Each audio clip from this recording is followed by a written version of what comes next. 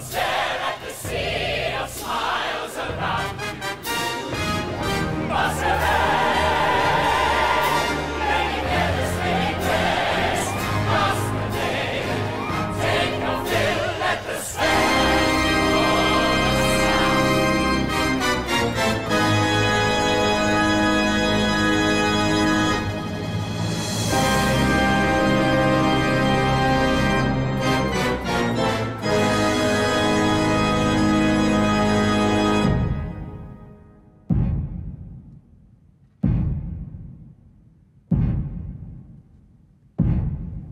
So silent, good monsieur?